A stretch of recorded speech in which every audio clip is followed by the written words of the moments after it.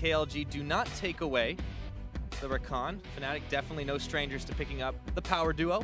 We'll see what Kaos Latin Gamers decide to get. They got two picks available to themselves, eyeballing a jungle choice. And the Elise is always a very good takeaway from Brox. It's a champion he's shined on quite a lot. It's a good takeaway, but it also sacrifices the safety and reliability of a Gragas gank as an example, and being a tank. So now you've got a squishy member. This is something that we have to talk about, Pyra. The Shen getting locked in for Mantarraya. He is a great Shen player. He's in fact one of the pivot points of the team that looks outstanding when he's on the pick. And not the only one. Soaz has played this champion quite a lot over the years and has been one of his favorites. In fact, they've had a lot of takeaways already. But on the Fnatic side, the bands, uh, the, the, picks keep coming really quickly. A Rek'Sai is locked in, and then we get the Rakan. But for KLG, they turn it right around. Okay, we'll grab the Tristana. No surprises here as we enter ban phase two. I mean, frankly, this is about picking for themselves and banning from your opposition right now. You've got the Nidalee removed, the Syndra taken away from Caps as well. Then you've got the Kog'Maw specifically away from Fix. However, they've got Xayah Rakan and a Rek'Sai for Broxah. They've got the Tristana there for the bottom lane. Things look pretty good for both of these teams in their own respective ways. And you can see what KLG is doing right now. They're focusing on some of the more esoteric picks that we've seen out of Caps over the course of this year in his rookie season. The Aurelion Soul is only a champion we saw out of him once in the LCS in summer, uh, but it, it, was pretty beastly, and he's still got a lot more power to play with, but let's see what Fnatic takes off. It's going to be the Taliyah band away against Plugo. Yeah, Taliyah very much a valid ban from Plugo. There's a bunch of mid lane champions still there because the Aurelion Soul ban, whilst it's nice, isn't standard. This is much more standard. Of course, Cassiopeia, another champion of choice that may step up to attention now very possible. But yeah, with the LeBlanc band away, that's definitely another cap special and very standard pick as well. Fnatic, do they keep focusing on the mid? Do they thin out that pool a little bit more? They've got 10 seconds still to decide. Orianna for protecting the Tristana or the Xayah is always going to be a high priority champion. Remember that Kaos Latin Gamers being on the red side have the first pick of this second pick phase. And so if there's something that stands out, such as the Orianna that I mentioned, you want to remove that before they can pick it first. Yeah, you called it. So it's back over to Kaos Latin Gamers.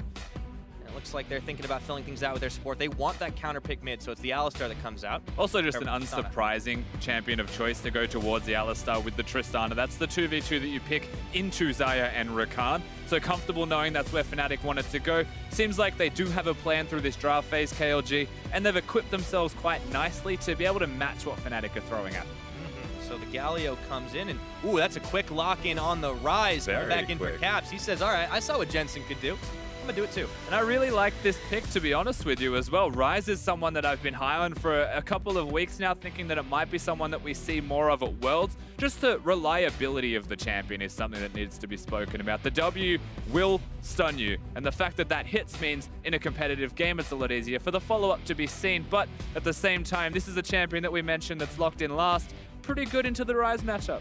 Yeah, Plugo, he definitely has the experience come to bear. Now, Speaking of experience, though, Caps did play a lot of this Ryze way back in spring and his rookie split. It was his most played champion.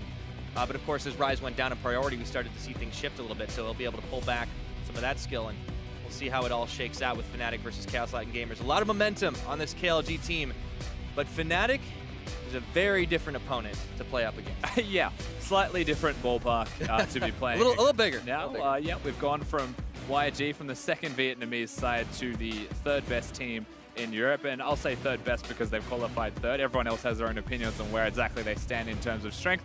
Fnatic at their best could be the best in Europe, for all we know. We're just really yet to see if they're going to be at their best coming into this tournament. Yep. For Fnatic, after playing the plans, obviously a bit of a blow to the team as they stumbled in the quarterfinal matchup against Misfits, but this is a team that definitely learns their lessons. We saw them, frankly, get blasted at Rift Rivals, and they came back stronger than ever before.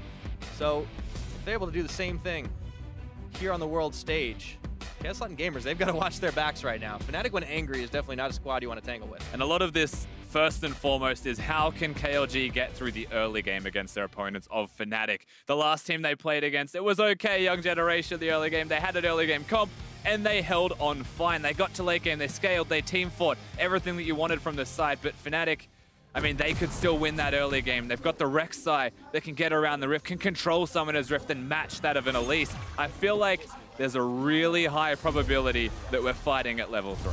I think it's definitely going to happen. Broxah, of course, one of the reasons he favors the champion like Elise so much, we also saw him play a lot of Gragas too, he likes to get in early and try to make things happen. This Rek'Sai is definitely going to fit that bill. And we know that Tierwulf loves to do the exact same thing. The guy is running the direction of the early game from KLG. Fans are definitely getting hyped. They certainly are. It's almost like they're holding the microphone right now. Uh, Wolf, yeah, you mentioned his early pathing, his early aggression. I feel like the dichotomy of this game, however, that we're going to watch is which side of the rift is Wolf on and where does he want to prioritize? Because frankly, I would still want him bottom lane. I still want him to affect the bottom lane, but Rek'Sai ganking mid lane, very much an accessible thing. It's a cleanse from Plugo. Uh, so the knockups don't get affected by any means. It's just the Ryze W that'll lock him down. And with the amount of early damage they have, most importantly, that's what means the most. So both teams having a oh, pretty good it. time to get things started. I don't know. That cowbell is always a surefire way to victory, so Slow knows the secret strats. I've always said the best team compositions on Summoner's Rifts are the onesie duo, so we're not going to see that. I feel like they've lessened their strength right now, KLG. There's no Maokais. Well, fortunately uh, for Shen. Or Nas. No Ninja in pajamas. Or Annie's. There's, I just realized there's four of them. Yeah. Quite a few. Anyway, sorry. You had one of those moments. I did. Yeah. All right, well, we're kicking things off. We'll see if they end up making plays down in the bottom side. That level three, definitely want to track that as the game unfolds. Of course, pretty hard leash here for Tierwulf, so you could expect him to get started maybe even a little sooner than that. A nice little leash from the bottom lane duo. They'll be able to give him a whole lot of health. A bit of tempo, perhaps, at the same time. Galio cannot match that of a Tristana and an Alistar, but also means they don't get tempo in the bottom lane 2v2. So you go, you do damage for your jungler, you sacrifice a level 1 in lane against the Rakan and Xayah, who can walk up to you, but they're fighting. Yeah, they really want to. Jez is taking a lot of damage early off that explosive shot, but they hold on to their summoners for the time being. It's a curious trade from Jesiz. Of course, he's got his coin, so he'll get health back when minions die. And at level 2, you would assume he goes towards the Q to get a heal. Alistar more relying on the passive, on minions dying to get those heals. So you can expend and trade health as supports. I'm okay with that from the Rakan in this matchup, as long as Rekkles is healthy and safe. But Wolf, he's got his eye in. Oh boy, they have got to be careful. The level 2 gank of the Elise Rekkles, he might have to burst flash. Oh, the heal is already spent, and he just keeps the cocoon. Doesn't need to spend Teleports the teleport coming in. Flash away from Wolf. And do they have the damage they do with the last feather? It's Rekkles picking up first blood. Four summoners to get away, turn it back around. And Broxah now looking towards mid lane. Uh-oh, Cassio put into Rune Prison. Plugo, he's trying to slither away, but nothing for him to do! And that's going to be Broxah picking up a kill. Fnatic starting this one off right. Very much aware that he wasn't going to get out to safety. Plugo just calls it early and says, I will fight Caps, acknowledge that death is going to be. They didn't cleanse because he didn't see the Rek'Sai until the flank was just too severe. So well done from Broxah, well done from Caps, good communication. Wolf, ganks bottom, dies suddenly what is a level 2 cheese that sometimes works that puts you maybe a minute behind at most in the jungle is now even more than that because Broxah comes in, gets a kill, he's now got the experience lead, has the red buff for health regeneration. He is just going to be a nightmare for Wolf. Yeah, and honestly all Fnatic had to do to really get out of that one. A couple of summoners burned. Cap spent his teleport and then ended up canceling it. But look what's happening as a result. Broxah has a level advantage. Maybe he can't quite oh get the steal God, up, he didn't even he it. That was a Praise Seeker steal. Wolf's having an awful early game. Daylight robbery from Wolf. Still level 2, doesn't have Smite. All I can say to you is have fun at Krugs, buddy, because they are going to destroy you. I mean that as well, they hurt. There's a lot of them. The Itsy Bitsy Spider is going to stay just that size for a little while longer. So Fnatic, they're off to a flying start in this game. 1,000 gold lead already in the pocket of the jungler and the 80 carry, respectively. And Fnatic showing that definitely a different caliber of team as KLG a little antsy in the early game, getting punished for it. Whole different kind of early game to be experienced by Kaos Latin gamers. And so with this early start, at least almost a non-factor for quite some time, just going to be a Cocoon bot. Yeah. Do absolute hardest to just crowd control and support the team. I mean, just, just start building tank right off the bat. You don't even bother getting the blue, uh, getting the blue upgrade. I mean, we're gonna find out. I would probably just go straight into something tanky, but you also need to have that damage. Or what is your relevance of being Elise? Like, why not just have picked another champion to begin with if you don't intend to do damage for your composition? Yeah, that's a good point. But uh, for Fnatic, definitely pretty happy with the way things have unfolded here. Maybe we start to look to other lanes of KLG to make things happen. Mantarraya, once he hits level 6, he's only on 5. He could start to turn things around. Fix a little low under tower, but there is always the ability of the Shen Shield dive. I mean, the ward's place. Oh, the tanky turret. Nice double knock up there as Slow. He's able to get off a few more auto attacks to stun under Rekkles. And well, maybe this is the Fnatic bot lane overextending just a little bit. Really nice from Slow as well to get the turret aggro and the timing with the Pulverize. So very much a commendable showing, but it only equalizes the trade. And that's the most unfortunate thing is here we go. Uh, Wolf can't catch a break, man. Everywhere he goes, Brox is there. Cocoon comes out. He's already down to half his health. Still Watching the level advantage. And waiting. Uh, Plugo's actually got the collapse. Uh-oh. Well, Broxah might have gone a little too far forward. He flashes. Caps is coming in. Let's see if they can get the kill, though. That's a lot of damage oh. out of Caps. Woo! Mid lane and jungle both going down, and TP's canceled. They're looking for Jesiz, but they're not going to find him either. Teleport used by Mantarraya. He still has the ultimate when he ticks over to six, so it should be okay for a Shen to make a play like that. And ultimately, Rek'Sai, I mean, Broxah was very far forwards. He did it with good reason because he wants to stay ahead of the Elise and bully her around, but his team wasn't able to rotate nearly as quickly as that of Kaos Latin Gamers. The fact that they're stuck at the turret almost is a blessing. The biggest problem is that Plugo's here. He's able to use the W, so barely, I will say, Broxah gets to flash range by dodging out on that. And they're lucky they get a trade as an end result here. Fnatic just off the aggression of Broxah. Yep. The red buff goes into the ether as well. Both the jungler and the mid laner just die at the exact same moment. That, there's some uh, synergy for sure, even if it's on the opposite end of the team. The wrong kind of synergy, unfortunately, for Cap. Something might have wanted a red buff. Yeah, would have been nice for him to have, but you know he's still not having too shabby of a landing phase. Just keep stacking, of course. I mean, frankly, he's having a fantastic time just because he's got his catalyst and tier. You compare that to the items of Plugo, and where he's going to have to go with his build, still a little while behind that. Mm -hmm. Of course, one kill. I mean, it's definitely relieving after the rough landing start he's already had to be able to pick up at least a kill onto Broxah, even if he dies for the effort. For sure.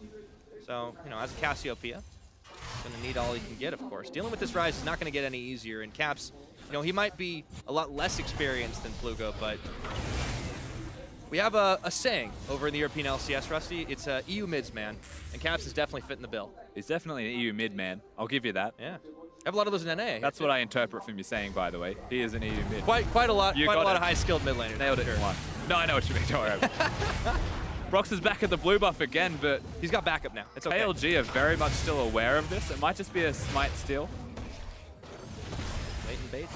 See? Exploding Spiderling comes out. Oh, he's going to try to get Tierwulf out on this one. Spike goes down. They're going to look to transfer it over. Slow and Fix coming in, and now Mantarraya. Let's see. Oh, wants to get the bowling ball going, and now Fix has tagged his way in. And all of a sudden, we've got a real scrap in this river with Mantarraya getting the first kill out. Jez's, he nearly falls down, but the heroic entrance comes, comes out, and they turn it right back around, baby. KLG running for their lives. Without Tierwulf, Rox is already down. Oh, they still want this. But they're going to keep on going. Soaz looking for the shield, and the Featherstorm comes out right into the taunt. Soaz getting one. They're going to look for more. Rekkles has two, and Plugo trying desperately to slither away, forcing to flash. Caps is still on the chase. He goes. Oh no, he missed. Misses a Q. Goes Aww. one more Rune Prison under the tower, and Caps is going to be able to secure it. Actually gets the empowered Rune prison as well by missing the Q. So enough CC duration All to ensure he gets another spell rotation out. We're going to watch this one back again. Tierwulf goes for the blue buff, but throws out his W before he goes for the steal. So he has more damage perhaps than that of Brox, or he's going to try. Caps goes to get in and help, but leaves it. So he's just going to walk out. Oh no, it gets grounded. No, it gets cancelled. So you know what? Works out okay in the end. I didn't realize that the grounding would immediately cancel that one. But here comes KLG. Mantarraya makes the difference. The Shen comes in. Soaz is just dealing with the Cassiopeia, so it looks like perhaps he'll be able to get himself out. Dodges the ultimate at the perfect timing. And this is where it all turns around. The thing that's the most impressive about this is Soaz getting the massive taunt as Rekkles ults, knowing that KLG are just going to desperately try and counter this by slow sacrificing himself. Big taunts, big plays, the fact that Rekkles flashes as well to try and get that E back honestly, it's just individual stuff that we're seeing from Fnatic through these moments where KLG are throwing themselves at them. Yeah, I mean, the, the, story of Fnatic with the mental fortitude, obviously that comes to bear when you're up against opponents that are putting you on the ropes, but for KLG right now, the story is very much the opposite. They're the ones that are having so much trouble. And a large part of it is definitely Rekkles. You look at how he performed in the European LCS, and there's a reason we gave this man the MVP. I mean, if you can average over 10 CS a minute, you're doing something very right. Not to mention uh, 10 point 9 KDA as well. Very nuts. Very good player. And now he's 3-0-2, and that's the major concern for anyone going up against Xayah Rakan with a 3-0-2 Rekkles. Yep. Uh, kill participation pretty solid across the board for look at the mid lane, you look at the bottom. All together here. Let's see if they can stay alive though. Rekkles Jez's, they're gonna go for the charm play, and in comes Broxah forcing the jump out of Fix, leaving his support for dead, and Broxah was not done with that Tristana. Down he goes. Now Mantarraya and Slow here trying Where to in. go? Earwolf's there, but I don't think they've got a whole lot of damage to work with. Slow, he keeps getting those massive knockups, but there's no backup damage as Caps gets the cow. Looking for Mantarraya, Rekkles. He's even going to stay alive. And the rest of KLG, they got to scatter. Slow is playing this game incredibly well, but it's not the kind of play that'll get them the advantages, get them the kills. He's only one member of the five-man unit, and right now it looks like Fnatic as five are just stronger than their opponents. And ultimately, that is what's getting them these little bit of extra details. You know, Slow goes forwards, pulverizes them, and then Fix has to jump away. But it's not going to save him from Broxah, who is Rek'Sai with an ultimate, as Caps is just taking the quick path, avoiding where they are. That was very cheeky. He'll get the cooldown back up soon enough. Not It's to worry. almost like he knew. Might have. Now let's see this play one more time. So of course, Slow goes forwards. I think it's a great headbutt pulverize combo and timing. They didn't know Broxah was right there. Turns out he was. Suddenly Fix needs to ult him to safety, but that's not really safety, that's the opposite. And Then Slow's caught. The thing that I like about this is that Slow, whilst caught, makes the decision to help the team. He goes towards Tierwulf and times it incredibly well. I still think Slow is playing outstanding, but Rekkles, I mean, he's doing damage. Caps is doing damage throughout all of this. Nothing's going to stop the extra members of Fnatic doing more than KLG. Yeah, what can you do when you're this far behind this early on in the game? And 10 kills to 2, that's making up a massive goal differential. And this is definitely not what you want if you're Kaos Latin Gamers. An Infernal Dragon being given over to Fnatic with no chance of you contesting.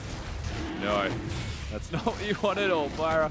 I don't know what to give you with that one. I mean, keep coming. It's free, it's theirs. The next one, not going to be Infernal, so that's where they count their blessings. That's the thing, Fnatic, they don't necessarily have to show anything particular right now because as you said, it's it's individual just better play, but also as a five-man unit, they can just group up as long as they have the pressure. Once again, Broxah just living inside this KLG jungle. To be fair, Fnatic are living pretty much inside the KLG base uh, in the next few minutes as this team keeps going.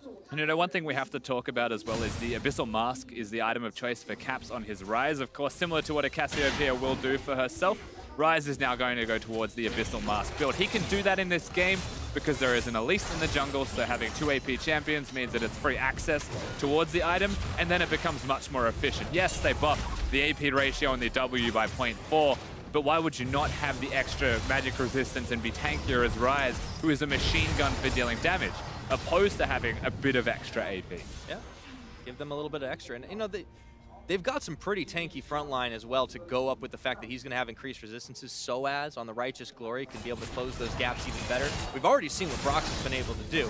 And this is Warrior Rek'Sai, too, so he deals some serious damage to top it all off.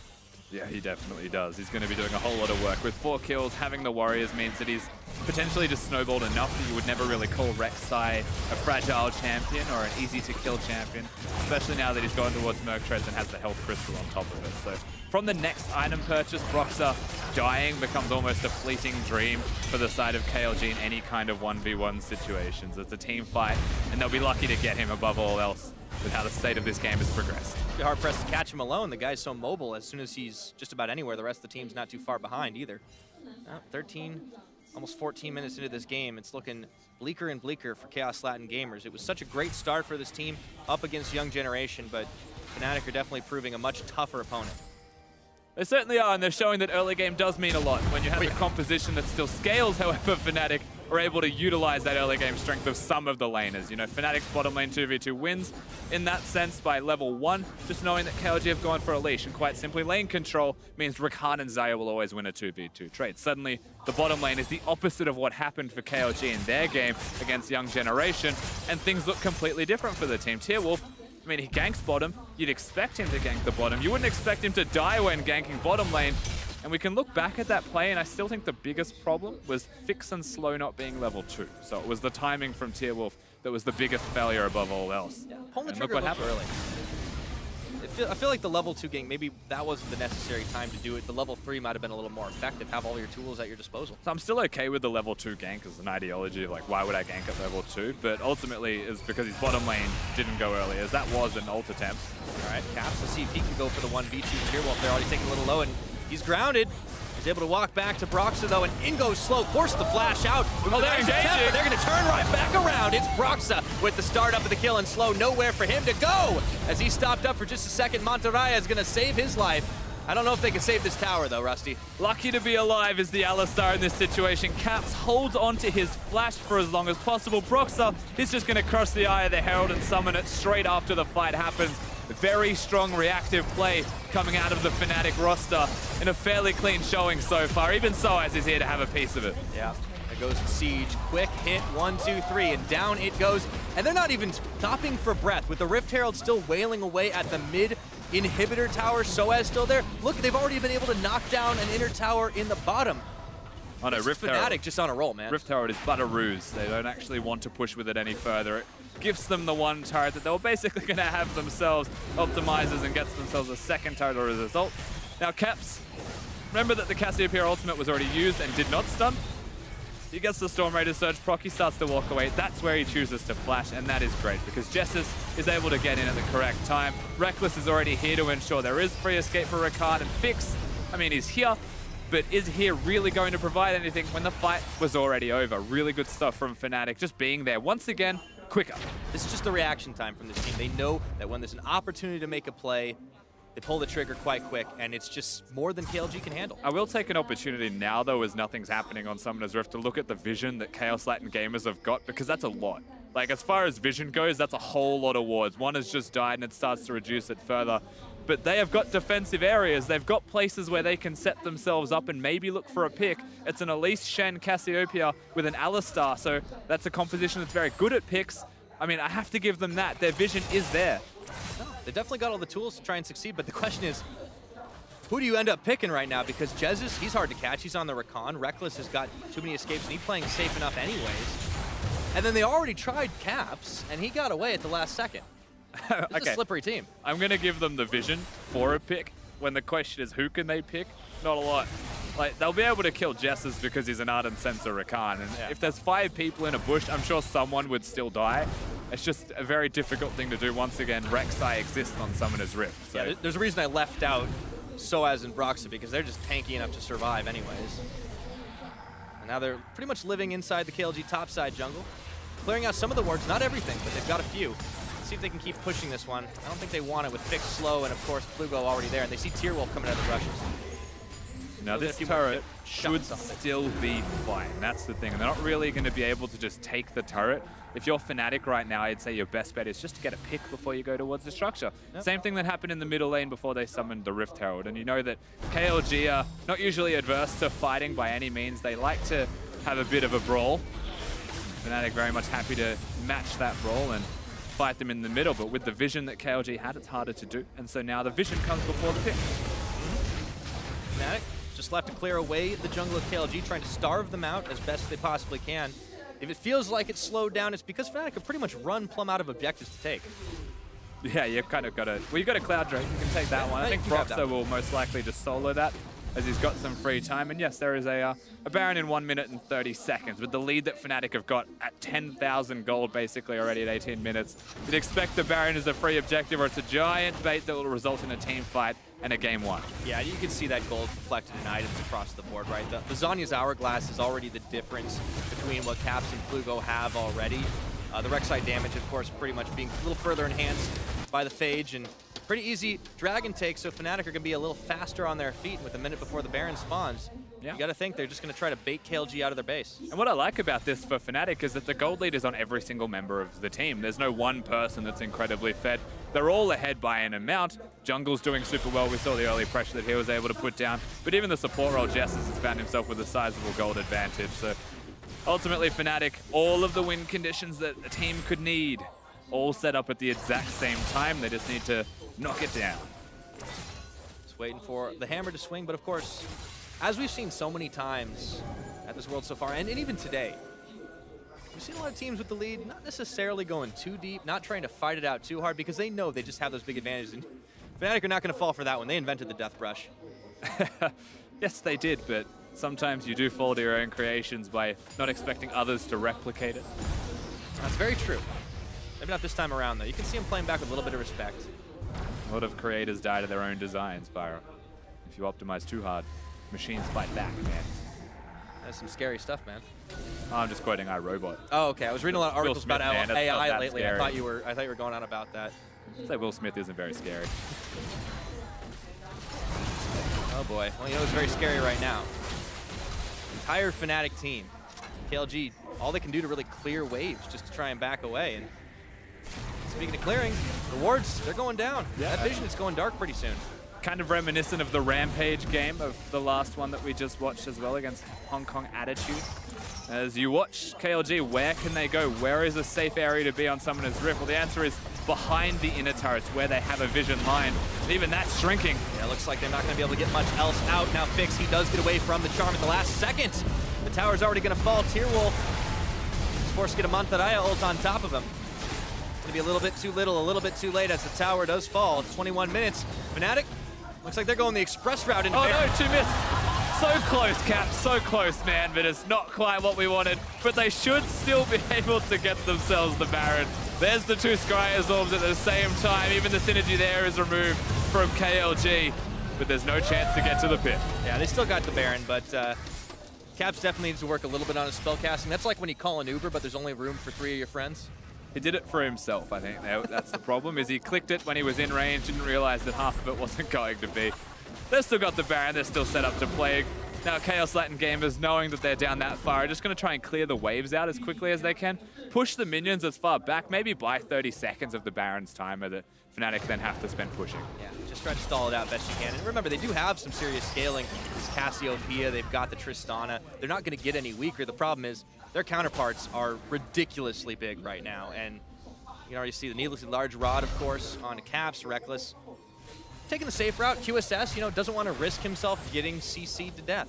Of course. I mean, it's a safe option. I think that's very much a valid thing to do. You've got the Shen Taunt, the Elise Cocoon. All of these things can lock you down, and then they can follow with the other crowd control. That's the strength of the composition that Kaos Latin Gamers have got for themselves. So Rekkles with the QSS, just that much harder to kill.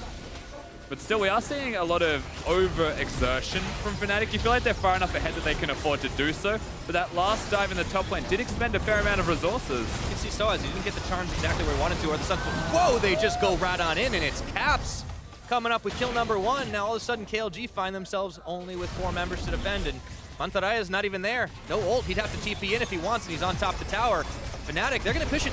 He ends up canceling it at the last second. He wouldn't have been able to complete the TP anyways, and now Fnatic are just bowling into this base. Yeah, he's going to have to walk over. The inhibitor will go down. Slow dies because he doesn't have the ultimate there. 10 seconds on the Alistar means that Fnatic took, should take the safe option. They should recall, reassess, and spend a lot of money, honestly, which is, I'm sure, what they've got. Yeah, so instead of a slow calculated push, they just beat down the front door.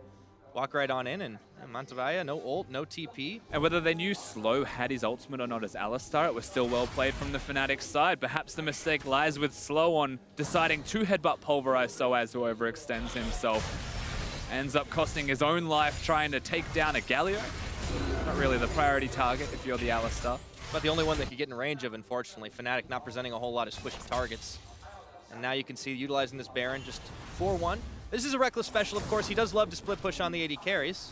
That might be the chance for KLG to try and catch him, but with the QSS, with QSS speed, and ultimate. I don't know. Oh, they're going to need to spend a lot. Oh, missed the cocoon. That was their only chance at an opportunity because Jesiz is now looking to kill Slow. Yep, never just going to be one, and they turn. And the Galio! Donna looking for Vixen. Oh, it's a hero's entrance, and Slow is left for dead. Soaz going right into the back line, and Fnatic, one, two, three, looking to clean house. That's a double kill for Caps. They keep on chasing all the way back to Fountain. Get in the room, prison. And down he goes, Fnatic inside this base, as Mantarraya just trying to tank up Jez's. But meanwhile, this base is going to fall to shambles. I mean, if you're Caps right now, you use your ultimate, you bring some minions to the Nexus, and you end the game immediately. But it looks like mid lane inhibitor should still be enough time. They've got four members dead. Fnatic should be able to take this game down and cleanly destroy Kaos Latin Gamers. Man, Hong Kong Attitude, I thought they had a fast one at 25 and a half minutes, but Fnatic are looking to beat that by a good 60 seconds. Mantarraya is up, so is Slow, but it doesn't even matter. Down goes the Nexus, and Fnatic with a commanding Game 1 victory. Rekkles and Caps both did not die, nor so as fantastic performance from the European side here of Fnatic and the third seeds that are coming in from the major regions. They are a daunting opponent for anyone to go up against. That proves true for groups A, B, C, and now D. Yeah, we are four for four. Definitely a different caliber of opponent for some of these emerging regions to face, and they have seriously had a wake-up call, but Fnatic, all smiles for this team as they walk off with a big victory. Remember, Many of these guys missed out on Worlds last year. This is their chance to try and make up for lost time. I do respect that KLG were excited to play against Fnatic, but you could also see the high spirits of knowing that it may not have been the game that they thought they could win, but they were just going to do their absolute hardest to try and upset the European side. But that was by no means an upset. It started early, and it just kept snowballing and snowballing. Yeah, it's always a lot you can learn from losses, too, especially against an opponent who has a much better grasp of how to play the game. For Fnatic, you know, early game was definitely key. Really liked what I saw out of the Rek'Sai of Broxah. He's had some critique come his way in Europe for maybe not doing as much as he needed to do against some of the teams in the European LCS, but I mean, this Fnatic squad is definitely looking pretty scary here in the play-ins. Yeah, and the best you can do to fault Fnatic at all is say maybe their engagers weren't fully as a team, some slight mistakes there, but they were 10k gold ahead when they did that, so maybe it just didn't matter. They were just throwing themselves at Kaos Latin Gamers because fundamentally, they won a 2v3 in bottom lane, and then the game was over. That's yep. actually just how that played out. There were very few tense moments for Fnatic. I think the closest you can really talk about was when Broxah pretty much gets caught inside the blue trying to steal things away. So you could argue maybe they should not always go too deep into enemy territory. Yep. But they were having a good time, and you know, they definitely were able to throw their weight around effectively. Yeah, the one mistake from the Rek'Sai still gets himself out in trades ultimately, and again, that might just be the caliber difference here between these teams. I think it definitely is the case. Now, to break down that win for Fnatic, let's send it over to our analysts.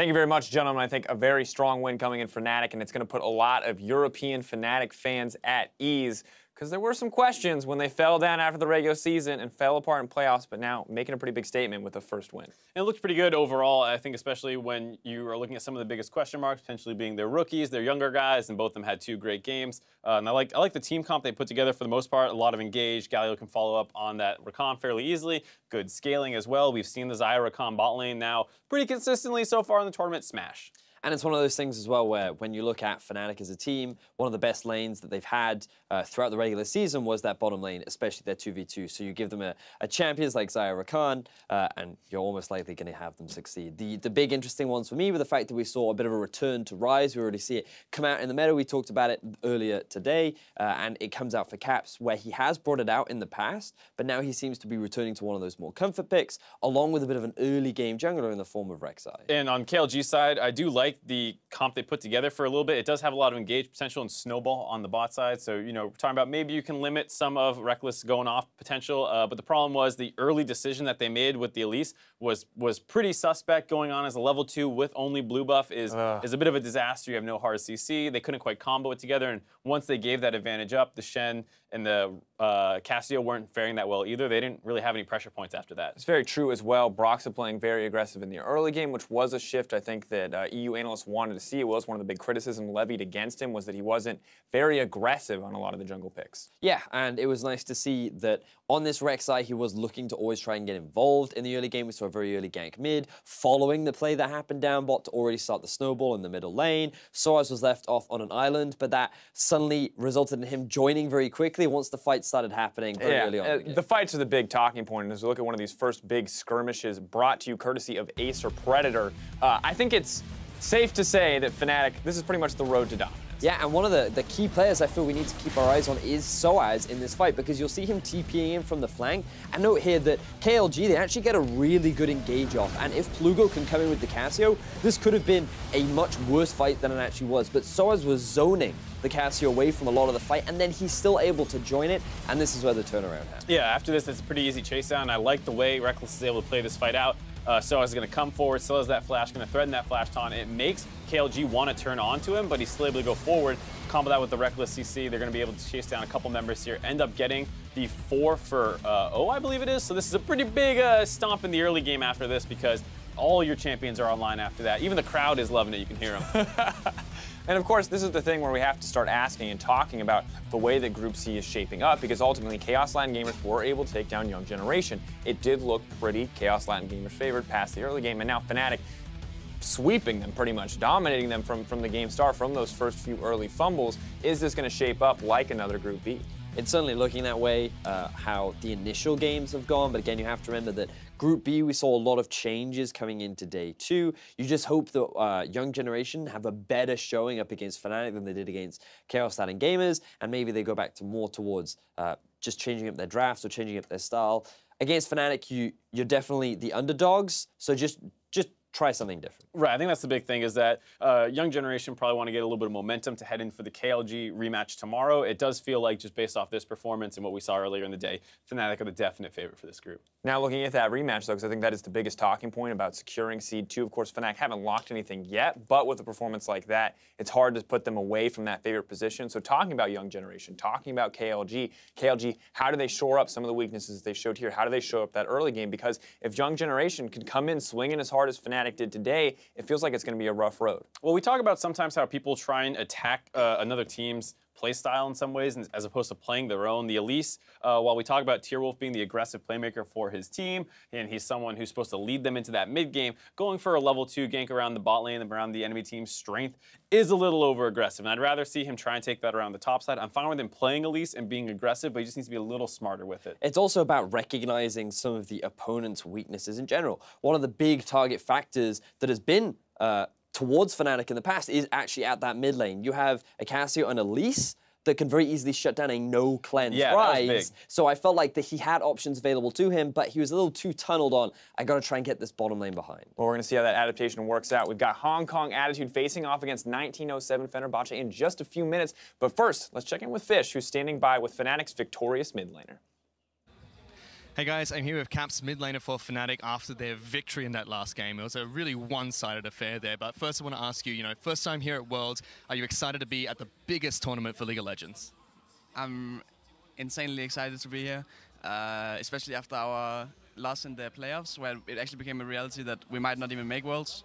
Um, and when we managed to win the, the regional qualifiers, I was just, I was so- happy. Like it, we, we finally made, managed to make it, and even though we were third seed, and which was not really what we had uh, hoped for, um, it was just insane to actually make it. And but now we hope that we can uh, play our way through uh, through through Worlds. I mean, it's a slightly longer journey, but hopefully you guys are able to make it out of the group stage here at Play-Ins. Uh, next, I want to ask you about your Ryze, because it's a pick that a lot of people know you for, and it seems like a very comfortable champion that you got to pick up in game number one. Was this something that was just comfortable for you, or something that was planned going into game one?